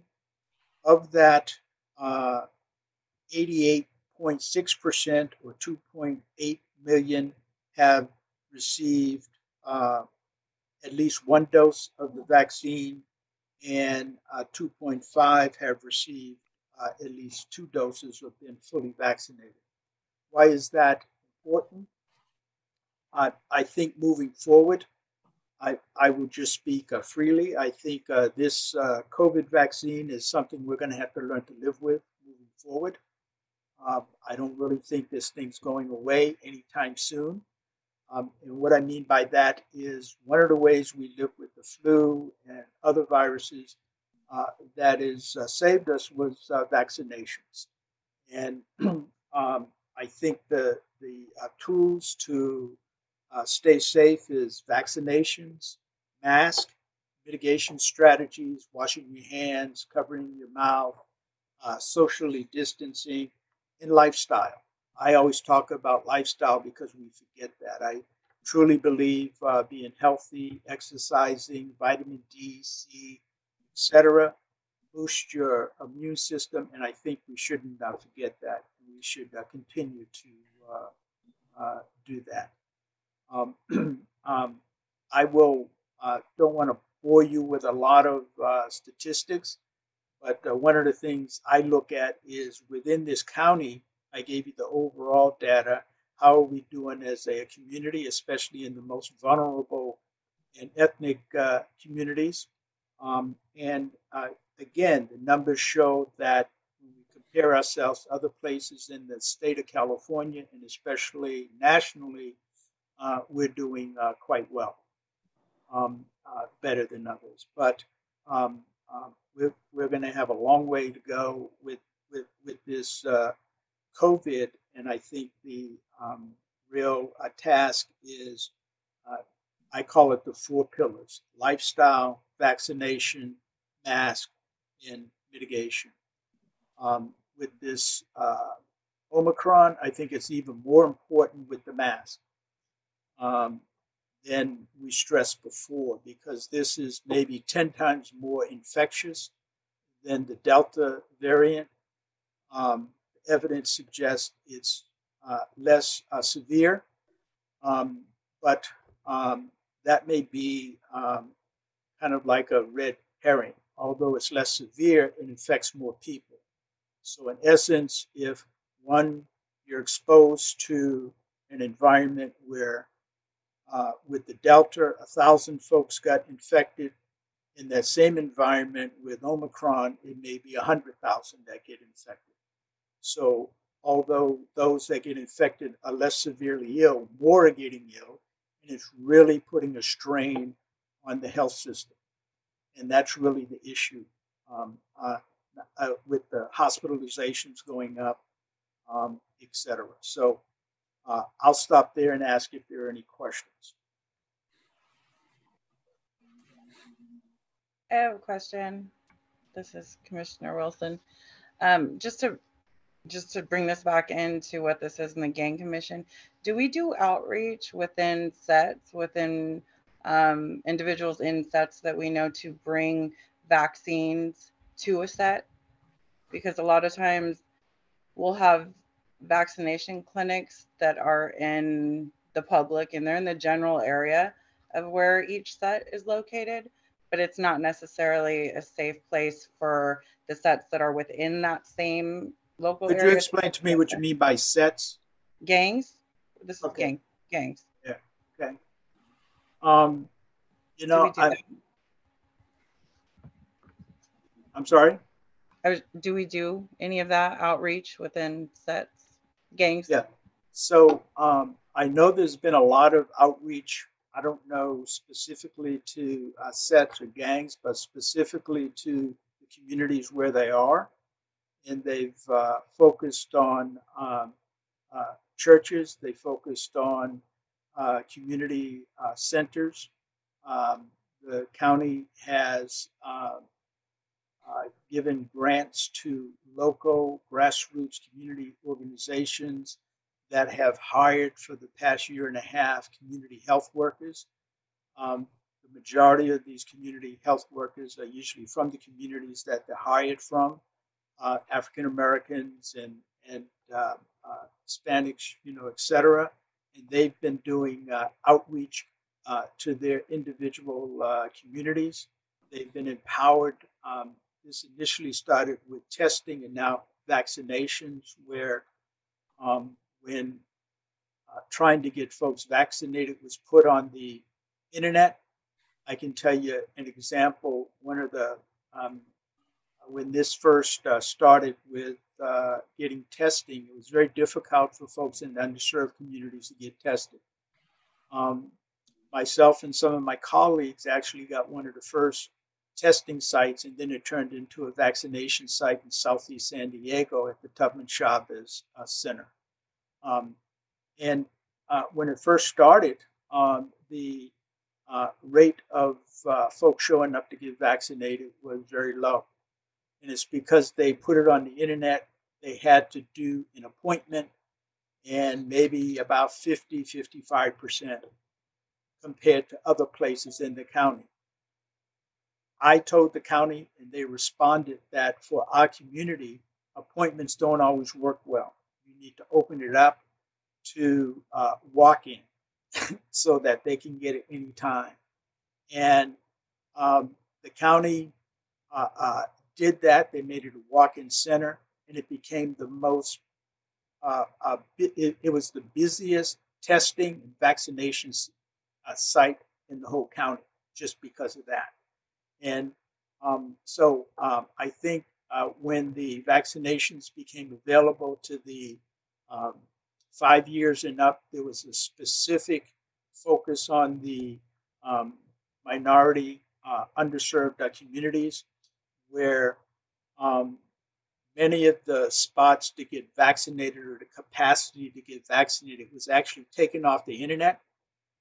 And community health workers were saying, as you identify somebody, um, we're going to reserve 20% of the capacity for your referrals. And therefore, if you look at the data of how we have impacted the underserved communities, we've done quite well from a health equity matrix uh, in the county. So I don't know if that's answering your question, but um, I, I, that's that's what has been done. There's been a huge health equity focus on on on the underserved community and ethnic population. Thank you. I, I do want to uh, add something, Dr. Hood. Yes. Um, so we we did a couple events in the community um, last year, towards the end of the year, toy drives and things like that. And um, Shalyn Gary Gary Shalyn Gary, she was able to. She works with the county, and she was able to get the bus, the HHS bus, right. and uh, they were doing vaccination on site and um, from what they told me is if if we have any events in the community, if we shoot them an email, um, just you know ahead of time, they're willing to come out with their their. Right. It's a big old mobile RV, and um, you know engage the community and, and connect them with any kind of uh, medical resources and the vaccination and that kind of stuff. Right. So so they have been uh, Dr. Uh, Afalo, who is a part of the uh, COVID Equity Task Force that I have, works with UCSD, who also has a mobile unit. The county has mobile units, and they have gone directly into the uh, community, and they're still doing that at the uh, Jacob Center, at the uh, Jackie Robinson YMCA, um, um, and there are other sites and at churches, specifically. And and when they do this many times they don't put it on the internet. It's by word of mouth so that the population we want to get there will get there. Elizabeth i'm sorry commissioner bustos thank you chair hood uh, so um, you know just adding and thank you uh, pastor for for recalling it's actually the Live Well mobile unit on wheels and um, if if anybody here has a, a, a discrete population, a group, okay, um, that that you would like to create space to have uh, to have either vaccine or testing done. Again, one of those that wouldn't necessarily be open to the you know to the public. I mean, please reach out to me.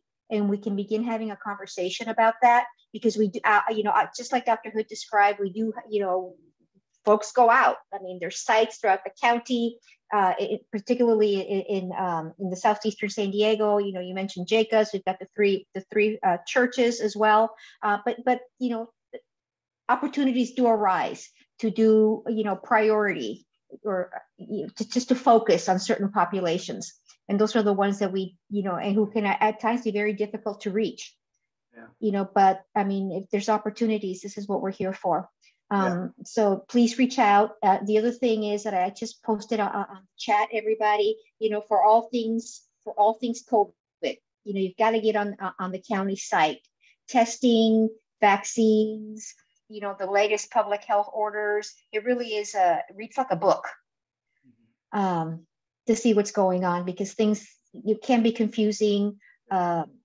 you know information dr hood you know just it, it's a lot. It's overwhelming especially with the o- o- omicron. The other thing that i would offer too and i know this is not necessarily but now that the i'm putting on my public health hat you know if anybody here we also do mini like half hour q and a sessions with groups. Okay, so if anybody here has, again, a group and everything you've ever wanted to know about COVID 19, prevention, protection, how it happened, why we're here, where we're going, I mean, we're also able to do that. And we've been very, very successful in, in hosting those, and folks just keep coming back. Yeah. And, and, and let me stress, because there may even be folks on this call who still have questions about the vaccine, safety, mm-hmm. does it work? I, I, I've, I've I've been going through my little uh, chronic melancholy and depression. Maybe I've been dealing with this so long, but I, but I am telling you, the vaccine saves lives. Mm-hmm. I, I, I'm, I've had um, at the uh, medical building where I am, the uh, one of the individuals that works there uh, lost a son and lost a uh, lost his mother to COVID they all lived in the same house. He never, um, I, I, think he got it, but um, they were unvaccinated. He was not. The vaccines um, may not prevent you from getting the infection, but it significantly reduces your risk of getting severely sick from the infection, mm-hmm. dying from the infection. Mm-hmm. Um, I've heard it all. I have family members who are not vaccinated. So I, I, I understand the concern. I understand the issues. But, uh, well, let me put it to you like this I've heard it, but it just amazes me the resistance that is uh, out there. Um, I, I, I, I have at least six or seven individuals who I've been talking for the past year and a half to get vaccinated. They just said, nope, doc, I'm, I'm doing X, Y, and Z. And a couple of them called me up. They wound up with the uh, COVID. Uh, fortunately, did not die, but got severely ill. What they said to me was, I wish I had listened to. So the vaccines do work. What I'm concerned with is that we're seeing uh, 20, maybe 30% of folks who have gotten COVID having some, we call it long haul COVID, with, with uh, chronic persistent uh, symptoms of mental fog, shortness of breath, uh, little energy. Um, we don't know how long that's going to last. Um, so it, it's not just getting COVID, it's not just hospitalizations, but we're learning that there's some long term effects from this uh, virus that we don't know how long it's going to um, there is no evidence that the uh, vaccine causes any long term effects right now. So I am triple boosted. I've, I've got my flu vaccine. I've got my Moderna vaccine. They're talking about a, you know, maybe too much is too much, but I'm actually looking at a fourth dose. I, I'm mm-hmm. okay. So I'm taking everybody else's dose who doesn't want it. So uh, the vaccines work. They save lives. And I, I get so depressed when I see folks dying who didn't have to die. Mm-hmm. So don't get me preaching. Any other questions? DeAndre? I'm just laughing at you, sir. That's all. Okay, no, I I see. I hope you're vaccinated, brother. Don't answer Oh, the question. I, I most definitely am. Okay, I most all right. definitely All right. But I have a I lot feel of that. family members as well that haven't have Yeah. decided not to get vaccinated, and I do Yeah. understand the reasoning behind it. So Yeah. I mean, Yeah. it just it kind of goes to show you, you know, just where our system and people's faith is at, just in you know what we have going on. That's why it's very very important that we always keep it clean. Yeah, I agree. Okay. So um, that being said, uh, thanks for your uh, uh, patience with my passion sometime. And I'm going to go to the next agenda, which is uh, the executive director's uh, report. Mr. Sandoval. Thank you, Dr. Hood. And so one of the first things I wanted to discuss is a peace summit that I wanted to plan for the summer. Uh, potential, potentially uh, the month of, of uh, May or June. Um, at least a one dayer. Um, I just have a couple of days, tentative dates, May 20th or June 10th. And uh, also, for those of you that were able to participate in our 2019 Community Mentor Summit, we Mhm, held that at the Golden Hall. And so it was really, this, this was pre-COVID. And so it was uh, close to 300 folks in attendance. We did a two-day um, summit, Community Mentor Summit, and we really highlighted all the work that's going on here in- not all the work, but a good chunk of work that's going on here in, in San Diego. And then we had some keynote speakers come from other cities and states to kind of see what, to share what they were doing on the program, on policy, program, and practice level. And so we were able to kind of pick their brain, see what we can implement here locally. And so what this Peace Summit, what we want to do is, is highlight um, kind of some of our efforts that what we've been doing during uh, COVID these past couple years.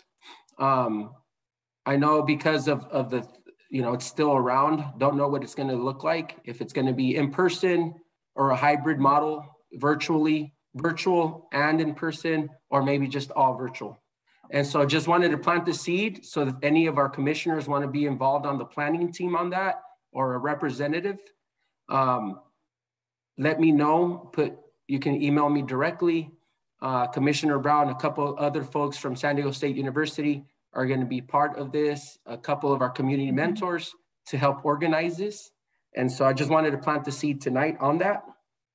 Um, the other thing I wanted to announce is uh, we have uh, a few of our community mentors, former gang members that are community mentors slash credible messengers that have put a two hour um, gang educational uh, presentation to highlight the work, to talk about their transition of how they went through the stages of change in their life um, from, you know, from, and, and the presentation is called Planting Seeds for Youth's Future Needs. And so the audience can be elementary school, middle school, or high school. It can also be for any of your staff, any departments. If you if you would like this training, we have uh, Robert Ontiveros. I believe he's still online. Um, that that is one of our mentors to do this. We have uh, Bishop Bowser. We have um, Rudy Arias. We have several folks in the community that um, are part of this, and we're willing to present at different locations. So if, if you're looking for something like that, don't hesitate to call me or send me an email. Um, there is a cost attached to it though, because uh, a lot of our mentors are in between jobs. And so we're asking for a $600 stipend um, so that they can actually get a, you know, a little love offering, if you will, a little stipend or uh, so that they can get paid for it. Um, if, if you absolutely don't have it in your budget, um, we'll still come out and do it. But if you do have some something in your budget and you would like to contribute, the money goes directly to our mentors. They eat three of them will get a, a budget, a, a stipend, and then the what's left over of that, it actually funds our peace meal, our community mentor dinner night that we have every Monday night. And so it goes, it gets recycled back into the community. Um, for our no shots fired, uh, we have an, an upcoming training. Let me ask January a uh, question, uh, uh, uh, Commissioner Wilson, did you have a question? Yeah, but I didn't mean to interrupt. I, I figured you Okay, didn't have my hand till the end. okay. Do you want me to wait? Okay. Wait. Okay. Wait. So for No Shots Fired uh, program, uh, we have a training, an upcoming training, January 11th and 12th. It's going to be at the Jacob Center from 4 p.m. to 9 p.m. And this is a training uh, that's going to be facilitated through Dr. Akil Bashir. He does a lot of trainings all over. Um, he's an expert and he trains uh, system partners, community mentors, credible messengers.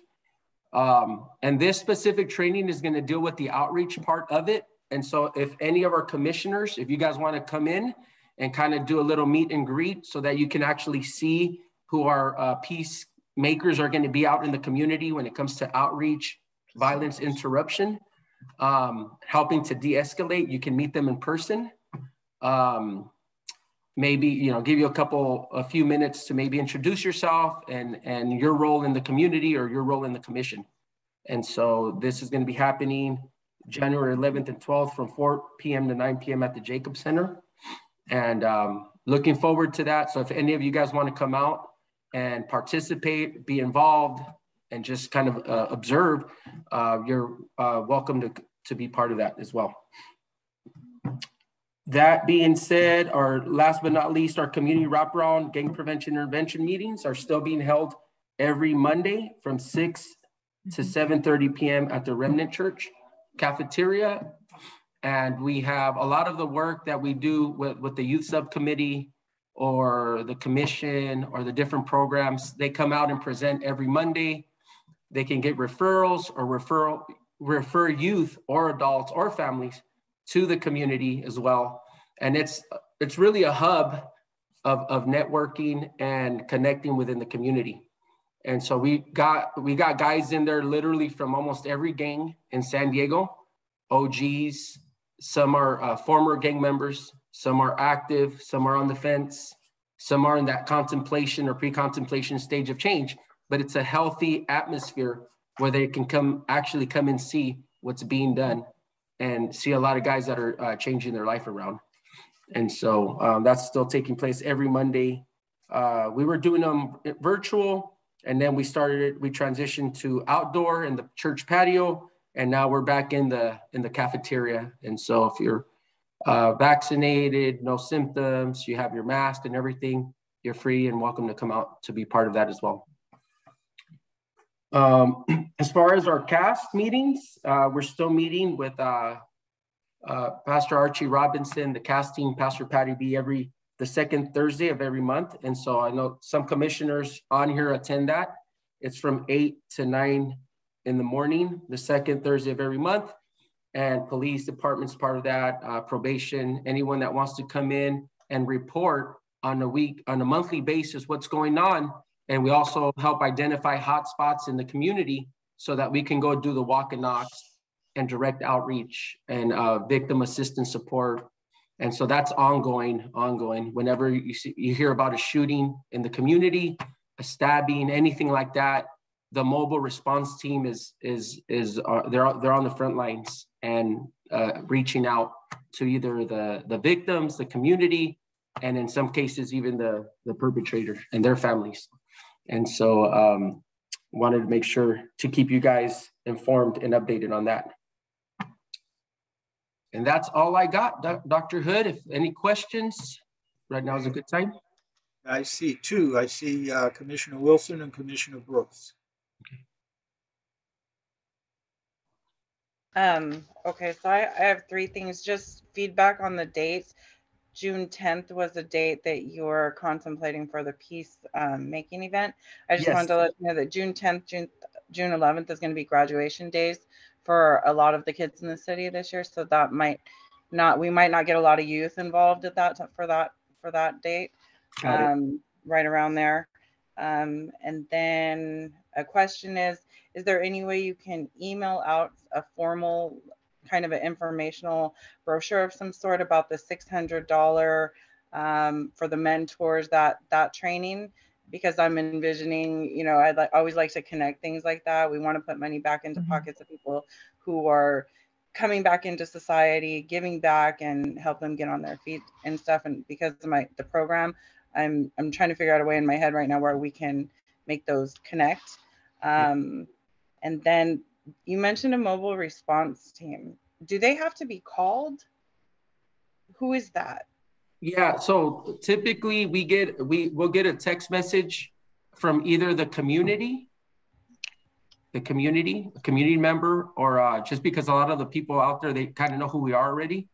Um, so we'll get a text message from the community that something happened and or uh, law enforcement as well. So depending who's on the beat and if they know us, they already know who we are, we'll get, we'll get a text message so that we can help respond to that. Whether it be at the scene, the, the family's home, or even the hospital. Okay, so because I've, yeah, can I get can can we can you share that in an email? I've specifically asked in recent shooting scenes, murder scenes, who they were calling in for trauma for the youth who were being detained who had just watched their friend die, and nobody came, nobody was called, and that's a concern of mine because we're leaving these kids. Um, nobody thinks of the friends when we're thinking about victims. We think of the families, we think of the moms, um, the kid, the children of, but we're not thinking about the friends who are left behind, and no one's paying attention to them or addressing their trauma. Right. Um, and they are just kids. I mean, people it. can call them gang members all day long, but they're kids. Yeah. As So a matter of fact, if you know any birth, spec- that would be great. any specific youth or families and you got their contact information, um, we can, as early as tomorrow, we can we can dispatch some teams to be part of that. And you'll share that number. Yeah, and, and so as a matter of fact, is one of our partners, uh, UPAC is one of our partners, and um, on the mobile response side. And so Bev, Bev's team, and she's dual role. She does Mothers with the Message and the UPAC mobile response through um, UPAC. She does that with UPAC. So, but yeah, anything you got, we got mentors um, that are ready to respond. And then I believe they also have a I'm- clinical, um, a clinical counselor on the clinical side, uh, grief support. Celeste Hunter, she does grief support on that as well for the parents. Okay, thank you. Yep. Commissioner Brooks. Yes, I was just curious to know where we were with this commission being funded. I know we all do like a lot of great work and we mm-hmm. all have nice networks that we work with and we get things done, but it's been about going on, I don't know how many years now that we keep having the same conversation. I think if we had like a budget where we all could do something together as a group and really say like this is the gang commission and not necessarily piggyback off the work that we do with other individuals. I mean, it's all still working, but for us to really be like a, a team and and do something under one umbrella, that would be great. And like, you know, this is a conversation. I hate to keep beating a dead horse, but we've been having this conversation forever. And, and you know, you guys have spoken to the powers that be and said that, you know, we were going to be making something happen. But I just want to know what we could do as a unit and, and when that funding will be coming in. Can somebody speak to that for me, please? Yeah, so uh, Commissioner uh, Brooks, I really appreciate you being on this uh, commission because that's why you're here. To let those things drop. I appreciate that. Yeah, I, um, to be honest, that was really one of my uh, uh, concerns and hot items uh, over a year ago. Um, and uh, to be honest, previous administration wasn't very responsive um, uh, to that in the conversations that I've had now have a new administration, and uh, I have uh, elected to really push it at that level as I did before.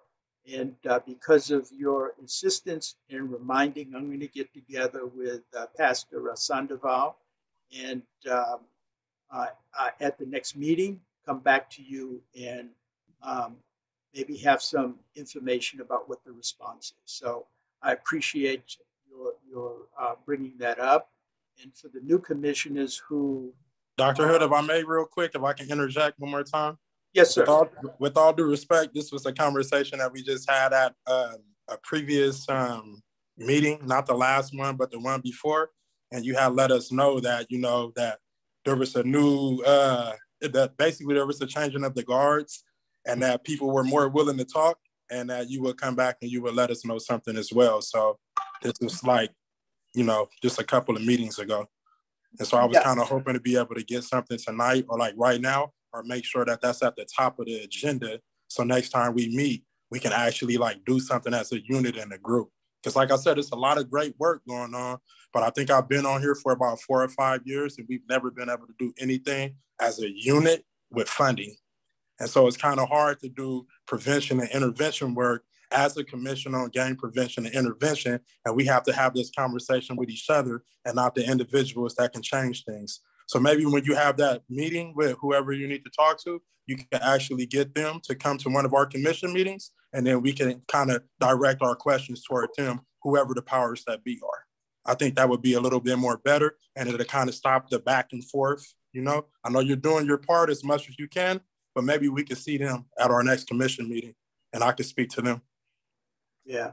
So, uh, Commissioner Brooks, let me be clear. I absolutely dropped the ball. Um, and, and that's what I uh, said. I appreciate you being here.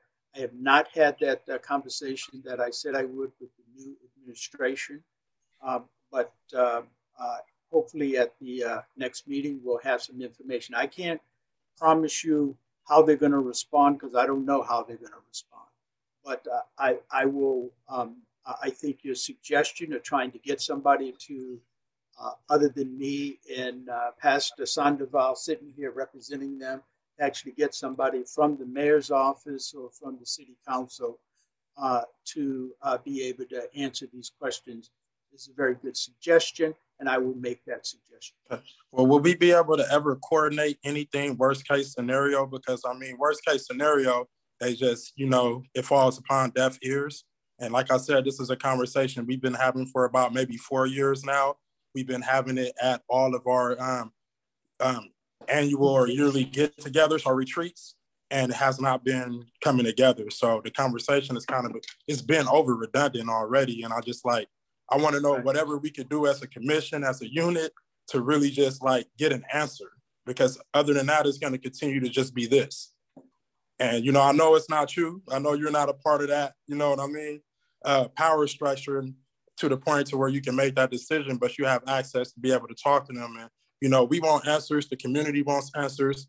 This commission does a lot of great work, like I said, and we really want the real community buy-in. We need to be able to do something that's tangible and not necessarily just the work of other groups and other networks.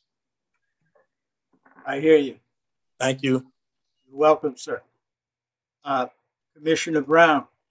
I just wanted to follow up on behalf of Commissioner Wilson's request. Please know Robert Ontiveros put in the chat box an infographic on that gang panel. So all the commissioners, if you open up your chat box, thank you, Robert, for doing that. Thank you. Um, Ms. Gross? Um, hi, I, I, just had a quick announcement. Um, Supervisor Lawson-Remer is hosting a um, alternatives to incarceration um, community forum on February 2nd um, and would like to get the word out to folks. So I can drop the registration link um, in the chat, but really looking at um, what we've learned in terms of during the pandemic when we were able to um, release quite a few folks from our local jails and how we can use that to kind of dispel some of the myths and um, look at where um, what kind of data we need to um, address some of the racial inequalities that we know exists within our criminal justice system so uh, big topics um, but wanted to make sure folks knew about that it's on february 2nd at mm-hmm. 6 p.m so i can drop the registration link in the chat if anybody's interested in attending mm-hmm. thank you mm-hmm. okay thank you uh, Commissioner Bustos. Thank you, uh, Chair Hood. This is a, a, a, directing this to to Pastor Sandoval. Uh, right before the holiday, it is a housekeeping issue.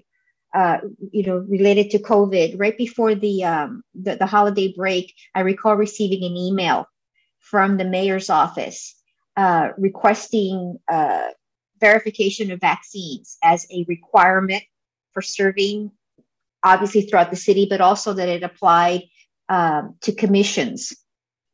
And that's a thing. Yes. Yes, it's it's there. It's real, and so um, it's it's a thing for all the co- for all employees in the city, but also those that serve on the commissions are kind of viewed as you know Mhm. employees because they're integrated within the city as a commissioner. And so yeah, it's a real thing. And so if you did receive that email, um, once you fill out that form, it goes into the like the HR department on the city side, and they kind of pick up on that. And then as time goes on, my uh, the direct office of boards and, and commissions, uh, Matthew Gordon, he'll get Mhm. he'll have like next steps on those that did and those that didn't, and what the next steps would be with that. Mhm. And, thank you for that. Uh, I do believe, I did believe that it was a thing, and but I also knew that I missed the deadline. So as somebody who walks around with a scanned uh, vaccination card, I did go ahead and um, and enter my information. But it was this is just more of a you know information for my fellow commissioners to just be on the lookout for that. And if it is a compliance, it, if it's a compliance issue, uh, in a condition of remaining on this uh, at this important table to, to please consider it. Yes. Please consider it. Commissioner Brooks. follow up, if I can follow up real quick, I didn't get that email, but uh, I'll be more than uh, happy to go ahead and provide my vaccination um, documentation. But I was just thinking about how something like that can easily be brought to our commission and we can fall mm-hmm. in line. But when it comes to actual getting funding to do different things for our commission, it's everything is out of whack. So that's just crazy to me how that can come and happen and we can have that type of conversation but we don't have any type of funding to do anything. And we take the work of everybody else and kind of capture it as our own, even though we're all together, you know, networking on the same team. And we've been having this conversation for like four years. So it's just like, you know, when you start looking at all the red tape and the bureaucracy, it's just, you know, it's starting to just wow. But thanks for that info. Just a prime example of, you know, how things work, I guess. Yeah. There, just to put a plug in on the No Shots Fired program, um, that is some funding that came down through the city, uh, the police department, and the fiscal agent at South Bay Community Services. But uh, Bishop Cornelius Bowser is uh, directing that program, and he is creating. There's already community mentors, incredible messengers that are going to be part of that, the outreach team, and some teams that are going to go into the schools but from what he was telling me is that there also um, there may be some slots there that uh, he's creating a roster because even though th- there might already be certain specific positions allocated to certain people um, they might have other jobs and it's full-time part-time but there is there is opportunity there. And so if, if uh, we can have a offline conversation about that if you know anybody that wants to get involved in that. But i know as far as what you're saying long-term sustainability um, we would love to have something like uh, Oakland does. They have like an eight million dollar budget for their city, for their for their prevention program. Half of that goes in, into mm-hmm. community programs. The other the other half of that is for like on for mm-hmm. staff onboarding their their well, staff. Well, what I was mm-hmm. saying, Pastor, not necessarily that there isn't funding in different programs that are already out here doing the work. I'm talking about specifically for the commission as commissioners and as a group and as a unit.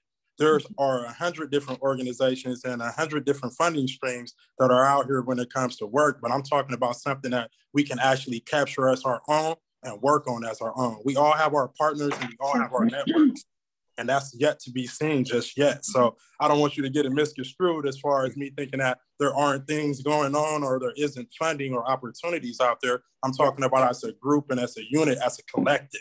And we haven't had that since I've been on here and we keep talking about it, but we also just capture the work of other organizations, other individuals, and other partners. I just want to be able to do something that we can actually say is ours in general as a collective. Does that kind of clarify what I was saying a little bit better for you? Because I don't know where the no shots fired came from. I, I mean, I know they're doing their thing and all that type of stuff, but I don't think they represent the commission. They're just a network and individuals that we know and work with. Okay, so um, I- I'm going to go to uh, Commissioner Brown, and I'm going to make her as the last uh, comment because we're at our time. And after her comment, I'm going to move for adjournment. Um, Pastor Sandoval, would you please resend the link that we upload our, I just got my booster, you know, I, I can't find that link. Can you please resend that to all the commissioners? Thank Yeah, you. And I I'd. I'd like to make a motion to adjourn our meeting. Is- Is there a second? Second. All in favor, say aye. Aye. Aye. Thank you, everybody. Have a great Aye. evening and uh, stay safe. Much love and light to each of you. Good evening, everybody. Thank you, guys. Have a great night. Nice seeing everyone. Be safe, everybody. Bye.